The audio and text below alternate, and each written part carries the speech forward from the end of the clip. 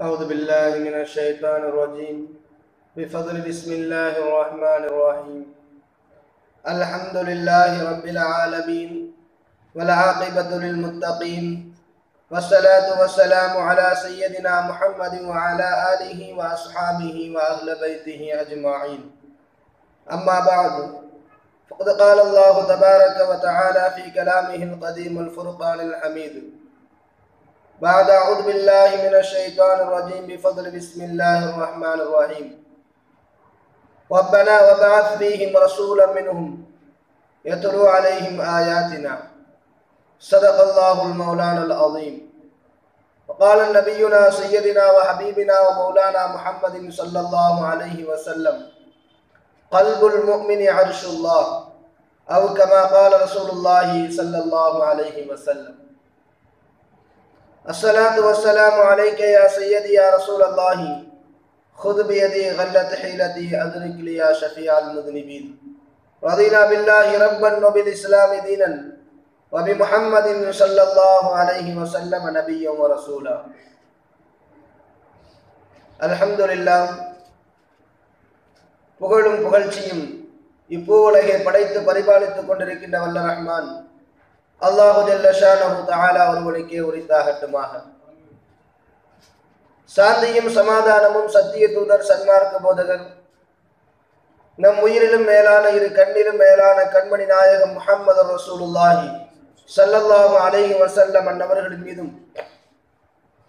அவர்களின் அடிச்சுவடுகளை அப்படியே பின்பற்றி வாழ்ந்த உத்தம சத்திய சஹாபாக்கள் தாபியன்கள் தபா தாபியன்கள் அவுலியாக்கள் அத்தாபுகள் நல்லறியார்கள் நாதாக்கள் சுகதாக்கள் மற்றும் புனிதம் நிறைந்த இந்த ஜும்மாவினுடைய கடமையை நிறைவேற்றுவதற்காக வேண்டி வருகை தந்திருக்கின்ற நாம் இனி வரவிருக்கின்ற நம்முடைய தோழர்கள் மற்றும் உலகத்திலே உண்டான அத்துணை முஸ்லிம்களின் மீதும் அல்லாஹினுடைய சாந்தியும் சமாதானமும் என்றென்றும் நின்றாது குன்றாது நிறைவாக உண்டாகட்டுமாக. ஆமீன். அலமதுல்லா இந்த நல்ல துவாக்களோடு பதில் சலாம் சொல்லுவது அவசியம் என்பதை நினைவுபடுத்தி சலாமோடு என் உரையை துவங்குகிறேன். அஸ்ஸலாமு அலைக்கும் வரமத்துல்லாஹி வபரகாத்துக்கும் கண்ணியமிக்க அல்லாஹின் நல்லடியார்களே ஒவ்வொரு ஜும்மாவுடைய நாளிலேயும் ஜும்மாவுடைய தொழுகை நடத்தப்படுவதற்கு முன்னால் ஒரு செய்தி உங்களுக்கு முன்னால் சொல்லப்படும் உலகத்தில் உள்ள எல்லா பள்ளிகளிலேயும் அது சொல்லப்படுகிறது. அல் ஜுமாத்து ஹஜ்ஜில் ஃபுகரா வைதா இல் மசாக்கின் ஜும்ஆ என்பது மிஸ்கின்களுக்கும் ஏழைகளுக்கும் ஹஜ்ஜி செய்வதை போன்று முஸ்லிம்களுக்கு அது ஒரு பெருநாளை போன்று என்ற ஒரு ஹதீஸ் உலகம் முழுக்க ஒழிக்கப்படுகிறது. அப்படி இஸ்லாமியர்கள் பெருநாளாக நினைத்து கொண்டாடுவதற்காக வேண்டி தன் ரப்பை அடைவதற்காக வேண்டி தன் ரப்பை சந்திப்பதற்காக வேண்டி தனக்கு கொடுத்த நியமத்துகளுக்காக வேண்டி ரப்புக்கு நன்றி செலுத்துவதற்காக வேண்டி உலகம் முழுக்க இருக்கக்கூடிய ஒவ்வொரு பள்ளிவாசல்களும் வெள்ளிக்கிழமைகளில் நிரம்பப்படுகிறது. அல்லாஹுக்கு நன்றி செலுத்துவதற்காக வேண்டி இந்த உலகத்தில் உள்ள எல்லாவற்றையும் விட்டுவிட்டு அல்லாஹுவை நோக்கி உலகத்தில் உள்ள எல்லா முஸ்லிம்களும் முஸ்லிம்களும் சந்தோஷத்தோடும் மகிழ்ச்சியோடும் நோக்கி வருகின்ற அந்த இடமாகத்தான் இன்றைக்கு உலகத்தில் உள்ள ஒட்டுமொத்த பள்ளிவாசல்களையும் நாம் பார்க்கிறோம். அப்படிப்பட்ட இஸ்லாமியர்கள் தங்களுடைய உணர்வுகளை பகிர்ந்து கொள்கின்ற தன் தன் சந்தோஷத்தையும் தன் மகிழ்ச்சியையும் தன் ரப்பினிடத்திலே ஒப்படைக்க வருகின்ற அந்த இடத்தை இந்த தேச இந்த நாட்டில் இந்த உலகத்தில் நியூசிலாந்து என்று சொல்லக்கூடிய ஒரு ஒரு நாட்டில் தன் ரப்பை சந்திக்க வருபவர்களை இரத்த கிளறியில் ஆளாக்கி இருக்கிறார்கள் என்பது உண்மையிலேயே மிகப்பெரிய மன வருத்தத்தையும் மிகப்பெரிய சோகத்தையும் ஒட்டுமொத்த இஸ்லாமிய சமூகத்திற்கும் அது கொடுத்திருக்கிறது. சுமார் ஒரு ஐம்பது நபர்கள் எல்லோருமே படித்த பட்டதாரிகள். ஏதோ சாதாரணமான நபர்கள் அல்ல. பெரும்பாலும் அதிலே நாம் எடுத்து பார்க்கின்ற பொழுது இதுவரைக்கும் நியூசிலாந்து நாட்டிலே இப்படி ஒரு தாக்குதல் நடந்ததே இல்லை. தொடர்ந்து ஒரு ஐம்பது பேரை சுட்டுக் கொண்டதினால் யாரை அவர்கள் எங்கிருந்து வந்தவர்கள் எந்த நாட்டை சார்ந்தவர்கள் அவர்களுடைய முகவரிகள் என்ன என்பதை கூட சரியாக தேர்ந்தெடுத்து வெளியிட முடியாத அளவிற்கு அந்த நாடு தடுமாறுகிறது. இப்படி ஒரு தாக்குதல் எங்கள் நாட்டில் நடைபெற்றதே இல்லை. என்று சொல்லக்கூடிய அளவிற்கு இந்த துப்பாக்கிச்சூடு பயங்கரவாத தாக்குதல் நடந்தேறி இருக்கிறது. சுமார் ஒரு ஐம்பது இஸ்லாமிய சொந்தங்கள் அங்கே கொல்லப்பட்டிருக்கிறார்கள். ஒரு நாட்டை இரண்டு நாட்டை சார்ந்தவர்கள் அல்ல கொல்லப்பட்ட ஒவ்வொருவரும் ஒவ்வொரு நாட்டை சேர்ந்தவர்கள் என்று சொல்லக்கூடிய அளவிற்கு பல நாட்டை சார்ந்த படித்த பட்டதாரிகள் ரொம்ப கருண கொடூரமாக மனிதத்தன்மை அற்ற ஒரு மிருகத்தால் அங்கே கொல்லப்பட்டு இருக்கிறது அருமையான பெருமக்களே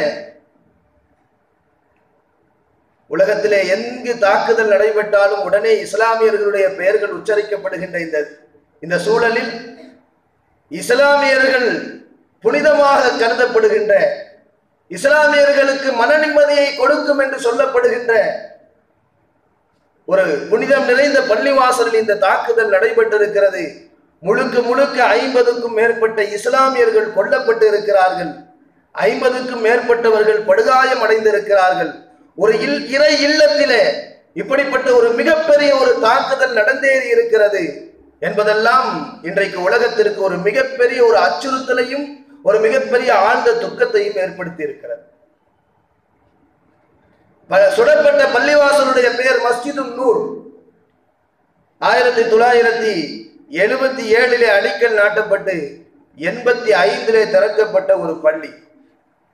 ஒரு வரலாறு கண்ட ஒரு பழமை வாய்ந்த ஒரு பள்ளிவாசலில் மிக தைரியமாக துப்பாக்கிகளோடு உள்ளே நுழைந்தது மட்டுமல்லாமல் அங்கே இருப்பவர்கள் இஸ்லாமியர்கள் என்பதை தாண்டி அவர்களும் தன்னை போன்ற ஒரு இனத்தவர்கள் தன்னை போன்ற ஒரு மனிதர்கள்.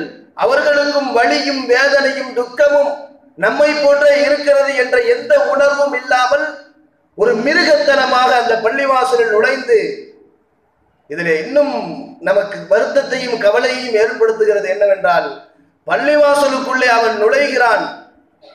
நான் செய்ய போகின்ற இந்த மாபாதக செயலை இந்த உலகம் முழுக்க வெளிப்படுத்த வேண்டும் என்பதற்காக வேண்டிய கேமராவை வைத்துக் கொண்டு லைவ்ல பேஸ்புக்குடைய லைவ்ல எவ்வளவு தைரியமாக அந்த பள்ளிவாசலுக்குள்ளே நுழைகிறான். இன்றைக்கு தீவிரவாதிகள் பயங்கரவாதிகள் முஸ்லிம்கள் என்று சொல்லக்கூடியவர்களுக்கெல்லாம் ஒரு மிகப்பெரிய பாடத்தை அவன் புகட்டி இருக்கிறான். இஸ்லாமியர்களை எல்லாம் தாண்டி நாங்கள் தான் அதிபயங்கரவாதிகள். ஏனென்றால் பள்ளிவாசலுக்குள்ளே துப்பாக்கியோடு நுழைபவனை கூட ஹலோ பிரதர் வெல்கம் என்று அழைத்தது முதல் ஒரு இஸ்லாமியர். அவன் பள்ளிவாசலுக்குள்ளே நுழைகின்ற போது அவர் அழைக்கிறார். கையிலே துப்பாக்கியோடு வருபவனையும் ஹலோ பிரதர் அஸ்லாம் அலைக்கும் என்று அழைக்கின்ற ஒரு மிகப்பெரிய மகோன்னதமான மார்க்கம் இந்த இஸ்லாம் என்பதை இந்த உலகத்திற்கு அவன் புரிய வைத்திருக்கிறான். அழைக்கப்பட்ட நபரையே முதலாவது நபராக சுட்டுக் கொண்டவன் தொடர்ந்து உள்ளே நுழைந்து எல்லாரையும் சுட்டது மாத்திரமல்லாமல் மறுபடியும் போய் இன்னொரு துப்பாக்கி எடுத்துட்டு வந்து சரியா சுற்றுக்கமா இல்லையான்றத கன்ஃபார்ம் பண்றதுக்காக வேண்டி இன்னொரு தடவை சுட்டு. இப்படியெல்லாம் மிகப்பெரிய மோசமான காரியம் அங்கே நிறைவேறி இருக்கிறது என்பது ஒரு மிகப்பெரிய வருத்தத்தையும் துக்கத்தையும் நமக்கு ஏற்படுத்துகிறது. ஆனாலும் கூட இந்த உலகத்திலேயே அநீதமாக கொல்லப்படுவதை பார்த்து சந்தோஷமடைகின்ற ஒரே மார்க்கம் நம் இஸ்லாமிய மார்க்கம் தான். அநியாயமான முறையிலே கொல்லப்பட்டவர்களை பார்த்து போராமைப்படக்கூடிய அதுபோன்று நாமும் கொல்லப்பட்டிருக்க கூடாதா என்று ஏங்கக்கூடிய ஒரு மார்க்கம் இந்த உலகத்தில் இருக்கிறது என்றால் அதுவும் இஸ்லாமிய மார்க்கம் தான். ஏனென்று சொன்னால் அல்லாவிற்காக வேண்டி அநீதமாக கொல்லப்படுபவர்கள் இந்த உலகத்திலே ஷஹீதுனுடைய பட்டியலிலே சேர்க்கப்படுகிறார்கள் என்ற கண்மணி நாயகம் முகமது ரசூலுல்லாஹி சல்லல்லாஹி சொல்லமுடைய ஒற்றை வார்த்தைக்காக வேண்டி நாமளும் அப்படி அநீதமாக விரோதிகளுடைய கையினால் துரோகிகளுடைய கையினால் இஸ்லாமிய எதிர்ப்புகளுடைய கைகளினால் நாமும் சுடுபட்டிருக்க வேண்டாமா? நமக்கும் அந்த ஷஹீதுடைய அந்தஸ்து கிடைத்திருக்க வேண்டாமா என்று இந்த உலகத்தில் உள்ள எல்லோரும் ஏங்குகிற அளவிற்கு ஒரு அற்புதமான மார்க்கம் நமக்கு அல்லாஹ் கொடுத்திருக்கிறான் என்பதை இங்கு பெருமையோடு மகிழ்ச்சியோடு நாம் தெரிவிக்கிறோம். சுடப்பட்ட ஐம்பது நபர்களும் இன்ஷா அல்லாஹ் தும்ம இன்ஷா அல்லாஹ் சொர்க்கத்திலே பிரவேசித்துக் கொண்டிருப்பார்கள். பறவைகளுடைய ரெக்கைகளிலே அல்லாஹ் சொல்வதை போன்று உயிர் வாழ்ந்து கொண்டிருப்பார்கள். அவர்களுக்கு இனி மரணமே இல்லை என்கின்ற அளவிற்கு கியாமத்து வரைக்கும் இந்த உலகத்திலே அவர்கள் வாழுகிறார்கள் மறைந்து என்ற அல்லாஹுடைய வார்த்தைக்கு சொந்தமாகிவிட்டார்கள். அல்லாஹ் அவர்களை கபூல் செய்து கொள்வானாக ஷஹீதுகளுடைய பட்டியலிலே அவர்களை சேர்த்தருள் புரிவானாக. நாளைக்கு மறுமையில யாரெல்லாம் அல்லாஹ்விற்காக வேண்டி உயிர் தியாகம் செய்தார்களோ அப்படிப்பட்ட மண் மண் மகத்தானவர்களுடைய பட்டியலில் அவர்களையும் அல்லாஹ் சேர்த்தருள் புரிவானாக. கண்ணியமிக்க அல்லாஹ் இல்லடியார்களே எனவே இது போன்ற துயரங்கள் துக்கங்கள் இது போன்ற படுகொலைகள் எல்லாம் நம்மை ஒன்றும் செய்து விடாது. இன்னும் நம்மை சந்தோஷத்திலே தான் ஆழ்த்தும் என்பதை எதிரிகளுக்கு செருப்படி பதிலாக இங்கே சொல்லி இந்த இந்த இந்த தாக்குதலின் மூலமாக நமக்கு நிறைய படிப்பினைகள் பெற வேண்டிய அவசியம் இருக்கிறது. அருமையான பெருமக்களே நாம் அல்லாஹுவோடு நெருங்குவதற்குண்டான அந்த பாதையை தேர்ந்தெடுப்பதில் நான் முயற்சி செய்ய வேண்டும். அல்லாஹுடைய நெருக்கத்தை நாம் அடைவதற்கு நாம் முயற்சிக்க வேண்டும். அல்லாஹுடைய அன்பை பெறுவதற்குண்டான ஒரு பாதையை நாம் தேர்ந்தெடுக்க வேண்டும் என்கின்ற பல படிப்பினைகளை இந்த பயங்கர தாக்குதல் நமக்கு உணர்த்துகிறது. அருமையான பெருமக்களே இந்த உலகம் என்றும் இந்த உலகனுடைய மாயை என்றும் நாம் அதற்குள்ளேயே சுற்றுகின்ற பொழுது மமல் ஹயாத்து துன்யா இல்லா மத்தாவுல் குரூர். இந்த உலகம் உங்களுக்கு ஆசைகளை காட்டி காட்டி காட்டி கடைசியில ஏமாற்றத்தை தான் உங்களுக்கு பெரிதாக காட்டும் என்று அல்லாஹ் சொல்லுவான். அப்படிப்பட்ட ஒரு நிலையை மாற்றி ஆன்மீக பாதையில் நம்மை நாம் அடியெடுத்து வைக்க வேண்டும். அல்லாஹ்வுடைய நெருக்கத்தை பெறுவதற்குண்டான முயற்சியை நாம் செய்ய வேண்டும் என்கின்ற ஒரு மிகப்பெரிய படிப்பினையை இந்த பயங்கரவாத தாக்குதல் நமக்கு உணர்த்துகிறது. அபு எசீதுல் பிஸ்தாமி என்று சொல்லக்கூடிய ஒரு மிகப்பெரிய இறைநேசரிடத்திலே ஒரு இப்படி ஒரு கேள்வி கேட்கப்பட்டது. நாம் அல்லாஹுவை வணங்குகிறோம் தொழுகிறோம் எல்லாம் செய்கிறோம். அல்லாஹ் நம்மளை எந்த அந்தஸ்துல வச்சிருப்பான்? இப்படி ஒருத்தர் போய் கேட்டார். அபு எசீதுல் பிஸ்தாமிட்ட அல்லாஹ் நம்மளை எந்த அந்தஸ்துல எந்த இடத்துல வச்சிருப்பான்? அப்ப அபு எசீதுல் பிஸ்தாமி ரஹமத்துல்லா அலி சொன்னார்கள் நீ எந்த இடத்துல ஒரு ரப்ப வச்சிருக்கிறியோ அதே இடத்துல தான் அல்லாஹ் ஒன்ன வச்சிருப்பான். நீ எந்த இடத்துல உன் ரப்பை வைத்திருக்கிறாயோ அதை விட உயர்ந்த இடத்தில் அல்லாஹ் உன்னை வைத்திருப்பான். நீ எந்த இடத்துல வச்சிருக்க? மனைவியா ரப்பா என்று வருகின்ற பொழுது நீ மனைவியை தேர்ந்தெடுக்கிறாயா உன் ரப்பை தேர்ந்தெடுக்கிறாயா? வியாபாரமா இறைவனா என்று வருகின்ற பொழுது நீ வியாபாரத்திற்கு முன்னுரிமை கொடுக்கிறாயா உன் இறைவனுக்கு முன்னுரிமை கொடுக்கிறாயா? பணமா இறைவனா என்று வருகின்ற பொழுது நீ பணத்திற்கு முன்னுரிமை கொடுக்கிறாயா அல்லது உன் இறைவனுக்கு முன்னுரிமை கொடுக்கிறாயா? இப்படி உன்னுடைய ஒவ்வொரு வாழ்க்கையினுடைய தரத்திலேயும் நீ ரப்பிற்கு எந்த அளவிற்கு முன்னுரிமை கொடுக்கிறாயோ முதன்மையிலே வைத்திருக்கிறாயோ அதை விட சிறந்த இடத்தில் அல்லாஹ் முன்னை வைத்திருப்பான் என்று ரொம்ப அற்புதமான ஒரு விளக்கத்தை அபு யசீதுல் பிஸ்தாமி ரஹமத்துல்லா அலைஹி சொன்னார். எனவே அருமையான பெருமக்களே ஆன்மீகம் என்பது நம்முடைய ஒவ்வொரு நிமிடத்திலையும் நம்மோடு பயணிக்க வேண்டிய ஒரு அற்புதமான தருணம். ஆன்மீகம் என்று சொன்னா நீங்க இப்ப இருக்கிற இந்த உள்ள ஆன்மீகத்துல போயிடாதீங்க இன்னைக்கு ஆன்மீகம் என்பது ரொம்ப பெரிய அசிங்கத்தினுடைய அடைக்கலமாக மாறி போயிருக்கிறது ஆன்மீகம் என்ற பாதையை காட்டக்கூடியவர்களே அசிங்கங்களில் அவர்களை ஆழ்படுத்தக்கூடியவர்களாக அநீதங்களும் அநியாயங்களும் அக்கிரங்களும் அக்கிரமங்களும் நடைபெறுகின்ற இடமாக அதை தலைமை தாங்கி நடத்துகின்ற இடமாக இன்றைக்கு ஆன்மீகம் நம் தேசத்திலே உருவாக்கப்பட்டிருக்கிறது.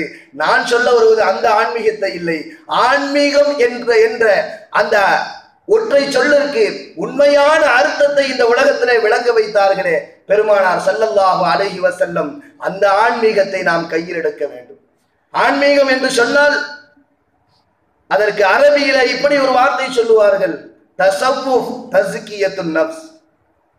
தசவ்வுஃப் தஸ்கியத்துன் நஃப்ஸ். ஒரு சேர ஒரே அர்த்தம் கொடுக்கக்கூடிய வார்த்தைகள் உள்ளத்தை பரிசுத்தப்படுத்தி உள்ளத்தினுடைய க- கசடுகளை வினைகளை உள்ளத்தில் இருக்கக்கூடிய தீய எண்ணங்களை எல்லாம் அப்புறப்படுத்தி அந்த இடத்தில் அல்லாஹுவை குடியமர்த்துவதுதான் உண்மையான ஆன்மீகம் என்று பெருமானார் சல்லல்லாஹு அலைஹி வசல்லம் அவர்கள் சொன்னது மாத்திரம் அல்ல தன் வாழ்க்கையில் அதை நடைமுறைப்படுத்தியும் காட்டினார் பெருமானார் சல்லல்லா அலி சொல்லம் ஒரு மனிதனிடத்தில் இருக்கக்கூடாத குணங்களை அவருடைய உள்ளத்திலிருந்து அப்புறப்படுத்தி எப்படி வாழ்ந்தால் அவன் உன்னதமானவனாக இருப்பானோ அப்படி வாழ வைத்து அல்லாஹை அவன் உள்ளத்திலே குடியமர்த்த வைத்தார் இந்த உலகத்திலே பெருமானார் சல்லல்லா அலி சொல்லம் அவர்கள் இந்த மார்க்கத்தை ஏந்தி வருகின்ற பொழுது அல்லாஹுதான் ஒருவன் என்ற அந்த சங்கநானத்தை முழங்க வருகின்ற பொழுது இந்த உலகத்திலே வாழ்ந்த மனிதர்களுடைய நிலைகள் மிக வித்தியாசமாக இருந்தது. மனிதர்கள் மனிதர்களாக வாழவில்லை. மக்கள் மாக்களாக வாழ்ந்து கொண்டிருந்தார்கள். நல்லது எது கெட்டது என்று என்பதை அறியாதவர்களாக உள்ளத்திலே அத்துணை அழுக்குகளையும் அடைத்து வைத்தவர்களாக இருக்கக்கூடிய மனிதர்களிடத்திலே தான் பெருமானார் சல்லல்லா அலிஸ்லம் அவர்கள் வந்தார்கள். வந்து அந்த மக்களுடைய உள்ளத்தில் இருக்கக்கூடிய அழுக்குகளை எல்லாம் நீக்கி அல்லாஹுவை மாத்திரம் அந்த மக்களுடைய உள்ளத்திலே பதிய வைத்தார்கள். ஒரு ஆன்மீகத்தினுடைய உச்சத்திலே அவர்களை கொண்டு போய் வைத்தார்கள். மனிதர்கள் என்பவர்கள் எப்படி வாழ வேண்டும்? அவர்களுடைய நிலைகள் எப்படி இருக்க வேண்டும் என்பதை தன் வாழ்க்கை தத்துவ பா- தத்துவமாக அந்த மக்களுக்கு உணர்த்தினார்கள் பெருமானார் சல்லல்லாஹு அலஹி வசல்லம் உள்ளத்தில் இருக்கக்கூடிய பொறாமைகள் உள்ளத்தில் இருக்கக்கூடிய தீய எண்ணங்கள் அதிக அளவுக்கு அதிகமான ஆசைகள் இவைகளை எல்லாம் கட்டுப்படுத்த வேண்டும். அதுதான் உண்மையான ஆன்மீகம். இன்றைக்கு போட்டிகளும் போராமைகளும் ஆசைகளும் நம் உள்ளத்திலே அதிகரித்துக் கொண்டே இருக்கிறது. அவைகளெல்லாம் உள்ளத்தை அதிகரிக்கின்ற பொழுது நம்முடைய ரப்பு நம்மை விட்டு தூரமாகிக் கொண்டே இருக்கிறான் என்பதை நாம் உணர கடமைப்பட கடமைப்பட்டிருக்கிறோம். அருமையான பெருமாக்கள் பெருமக்களே கண்மணி நாயகம் ரசூல்லாய் ஸல்லல்லாஹு அலைஹி அவர்கள் சொன்னார்கள் சொருக்கம் என்பது சோதனைகளால் சூழப்பட்டிருக்கிறது. நரகம் என்பது ஆசைகளால் ஆசைகளால் நிரப்பப்பட்டிருக்கிறது என்று சொன்னார்கள் பெருமானா ஸல்லல்லாஹு அலைஹி ஆசைகள் இருக்கிறதே அதை அது அதிகரித்துக் கொண்டே செல்லும் கடைசியில நம்மை கொண்டு போய் நரகத்திலே கொண்டு போய் சேர்க்கும். நமக்கு ஏற்படக்கூடிய சோதனைகளும் துயரங்களும் நம்மை சொர்க்கத்திலே கொண்டு போய் சேர்க்கும் என்று சொன்னார்கள் பெருமானா சல்லல்லா அலி செல்லம் சொன்னது மாத்திரம் அல்ல சொன்னதை நடைமுறைப்படுத்தியும் காட்டினார்கள். தன் வாழ்க்கையில் எவ்வளவோ பெரிய கஷ்டங்கள் துன்பங்கள் வருகின்ற பொழுதெல்லாம் ஒரு நேரத்தில் ஜிப்ரேல் அலை சலாத்து வசலாம் அவர்கள் வந்து பெருமானார் ஸல்லல்லாஹு அலி சொல்லமுடைய கஷ்டத்தை பார்த்து நீங்கள் ஒரு வார்த்தை சொன்னால் இந்த உகது மலையை உங்களுக்கு தங்கமாக்கி தருகிறேன் என்று கேட்ட பொழுதும் கூட பெருமானார் சல்லல்லா அலி சொல்லம் அவர்கள் அதை வேண்டாம் என்று மறுத்தார்களே. அதுதான் பெருமானார் சல்லல்லா அலி சொல்லம் சொன்னதை தன் வாழ்க்கையில் செய்து காட்டினார். ஆசைப்படுவது மனிதனை மிகப்பெரிய மோசமான நிலையில் கொண்டு போய் சேர்க்கும் அது அது அதனுடைய ஆசையினுடைய கடைசி எல்லை நரகமாகத்தான் இருக்கும் என்று பெருமானா ஸல்லல்லாஹு அலைஹி முடிவெடுத்தார்கள். அதை தன் வாழ்க்கையில் நடைமுறைப்படுத்தினார்கள். எதற்குமே ஆசைப்படாமல் இந்த உலகத்திலே ஒரு நாடோடியை போன்றே ஒரு வழிபோக்கனை போன்றே வாழ்ந்தார்கள். அதை தன் வாழ்க்கையில் நடைமுறையும் படுத்தி காட்டினார்கள். அருமையான பெருமக்களே இன்றைக்கு எவ்வளவோ ஆசைகள். இது வேணும் அது வேணும் அது வேணும் இது வேணும் என்று ஆசை அதிகரித்துக் கொண்டே செல்லும். அது ஒரு முடிவுக்கும் ஒரு கட்டுப்பாட்டுக்கும் வராது. நல்ல வியாபாரம் வேண்டும் என்ற ஆசை வரும். வியாபாரம் வந்ததற்கு பின்னால் சொந்த வீடு வேண்டும். சொந்த வீடு வந்ததற்கு பின்னால் ஒரு சொந்த கார் வேண்டும். சொந்த கார் வந்ததற்கு பின்னால் ஒரு கெஸ்ட் ஹவுஸ் எங்கேயாவது பீச் ஓரத்துல வேணும். அது வந்ததற்கு பின்னால் அது வேண்டும். இது வேண்டும் அது வேண்டும் இது வேண்டும் என்று இந்த ஆசை நம்ம இன்னும் அதிகமாகி கொண்டேதான் செல்லுமே தவிர அது ஒரு கட்டுப்பாட்டுக்குள் வராது. அதனாலதான் பெருமானா ஸல்லல்லாஹு செல்லும் முதலிலே நீங்கள் ஆன்மீக பாதையை தேர்ந்தெடுக்கிறீர்களா? ஆசையை கட்டுக்கோப்புக்குள் கொண்டு வாருங்கள் பேராசையை நிறுத்துங்கள். கொடுத்ததை கொண்டு போதுமாக்கிக் கொள்ளுங்கள். அப்பொழுதுதான் நீங்கள் ஆன்மீக சுவா சுவாசத்தை பெற முடியும். அந்த வாசனையை உங்களால் நுகர முடியும் என்று பெருமானா ஸல்லல்லாஹு அலைஹி அவர்கள் சொன்னார். அதுபோன்று பெருமை ஒரு மனிதனை அதர பாதாளத்திலே கொண்டு போய் தள்ளக்கூடிய வல்லமை மிக்கது இந்த பெருமை. பெருமானார் செல்லல்லாம் அலைஹி செல்லம் இந்த பெருமைக்கு முற்றுப்புள்ளி வைத்தார்கள். அல் கிபரு ரிதாயி அல்லாஹு சொல்லுகிறான் பெருமை என்பது என்னுடைய மேலாடை என்னை தவிர வேறு யாரும் அதை பயன்படுத்த கூடாது என்று அல்லாஹ் சொல்லுகிறான். எனவே யாரும் பெருமையை கையில் எடுக்காதீர்கள் என்று பெருமானார் சல்லல்லா அலிஸ்லம் அவர்கள் சொன்னது மாத்திரமல்ல. தன் வாழ்க்கையில் அதை நினைவுபடுத்தியும் காட்டினார்கள். எந்த தருணத்திலும் எந்த நேரத்திலும் தான் ஒரு மிகப்பெரிய ஒரு நபிமார்களின் தலைவர் என்றோ அல்லாவிற்கு பிரியமானவர் என்றோ சொல்லி தன்னை பெருமைப்படுத்தியதாக பெருமானார் செல்லலாறு அலைஹி வரலாற்றிலே எங்கேயுமே பார்க்க முடியாது. ஒரு தடவை சஹாபாக்கள்லாம் உட்கார்ந்து பேசிக்கிட்டு இருக்கிறாங்க. ஒரு சஹாபி சொல்றாரு மூசா கலீமுல்லா. மூசா எப்படிப்பட்டவர் தெரியுமா? அல்லாட்ட டைரக்டா பேசினார். எவ்வளவு பெரிய மகத்துவம் பாரு. அப்ப இன்னொரு சஹாபி சொன்னார் இப்ராஹிம் ஹலீலுல்லா. இப்ராஹிம் எப்படிப்பட்ட நபி பாருங்க?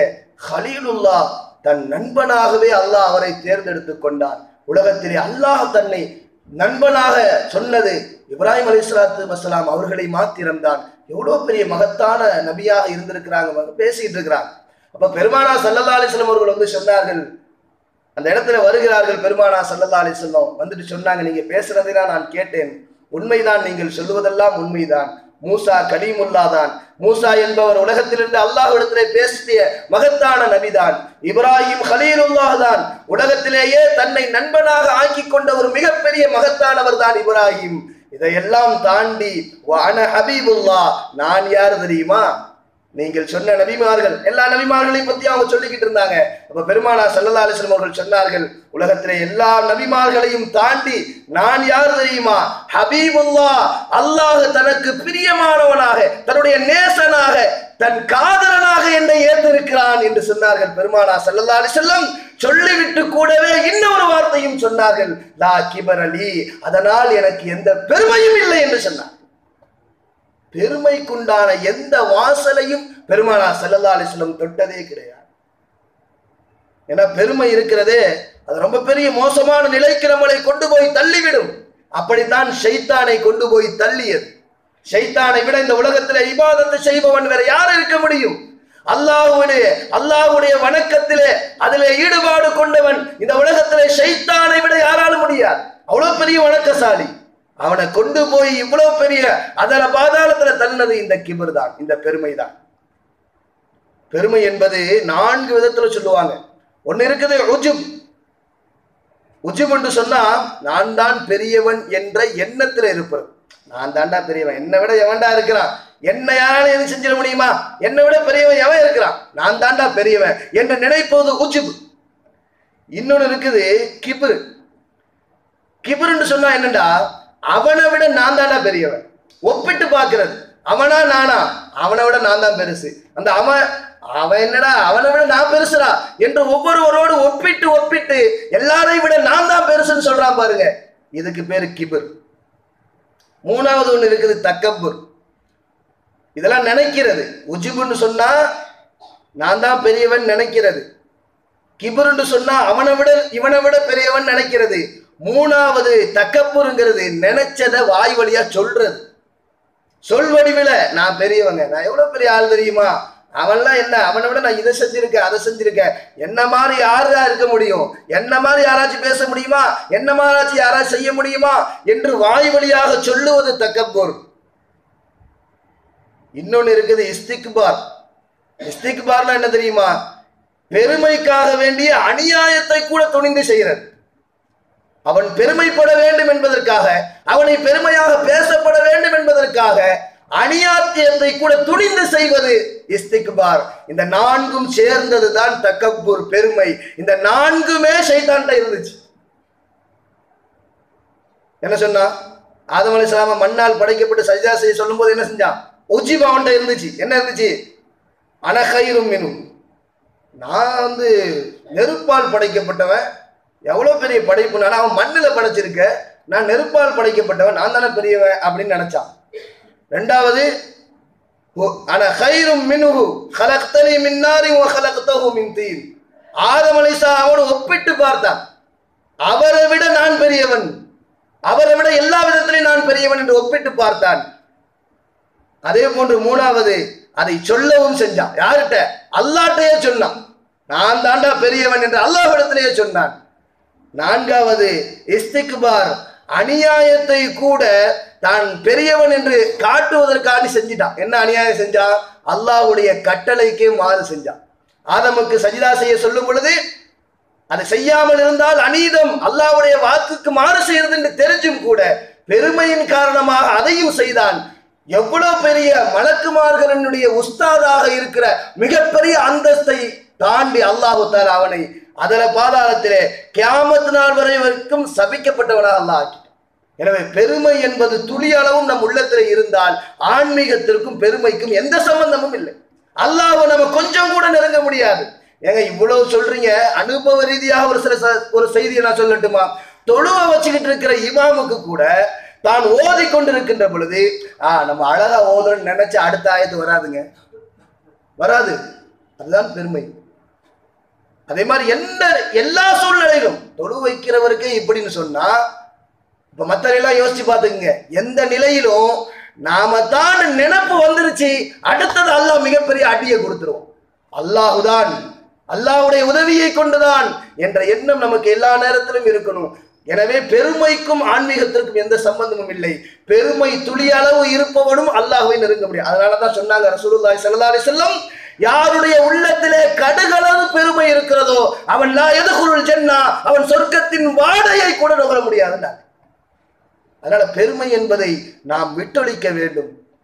அல்லாஹுவை தேர்ந்தெடுக்க வேண்டும். அவருடைய நெருக்கத்தை பெறுவதற்குண்டான முயற்சிகள் செய்ய வேண்டும். உலகத்திலே எவ்வளவு பெரிய தாக்குதல் பயங்கரவாத தாக்குதல் நடந்தாலும் அல்லாஹுடைய நெருக்கத்தில் இருப்பவர்களுக்கு உயர்வையும் கண்ணியத்தையும் அல்லாஹ் கொடுத்து கொண்டே இருப்பான். அதில் எந்த சந்தேகமும் இல்லை. நியூசிலாந்துல தாக்குதல் நடத்திட்டாங்க. அதனுடைய எதிரொலி என்ன? துப்பாக்கி முனையிலும் இஸ்லாம் இன்னும் அதிகமாக வளர்ந்து கொண்டிருக்கிறது என்பதுதான் உண்மை. அந்த தாக்குதல் நடந்ததற்கு பின்னால் ஜெயிந்தா ஆண்டன் என்று சொல்லக்கூடிய அந்த நியூசிலாந்து நாட்டினுடைய அதிபர் அவர் சொன்ன வார்த்தைகள் இது பயங்கரவாத தாக்குதல் என்பதை முதலிலே அறிவித்தார். இது பயங்கரவாத தாக்குதல் என்று சொன்னது மாத்திரமல்ல நாடாளுமன்றத்தில் அவர் பேசுகின்ற பொழுது அந்த தாக்குதல் நடத்தியவன் பயங்கரவாதி அவன் பேரை சொல்லுவதற்கு நான் வெட்கப்படுகிறேன் நான் மாத்திரமல்ல சபாநாயகரும் பேரை சொல்ல வேண்டாம் என்று கேட்டுக்கொள்கிறேன். எங்க? நாடாளுமன்றத்தில். இந்தியா அவரிடத்திலெல்லாம் பாடம் கற்பிக்க வேண்டும் என்று நான் நினைக்கிறேன். பேரை சொல்லல.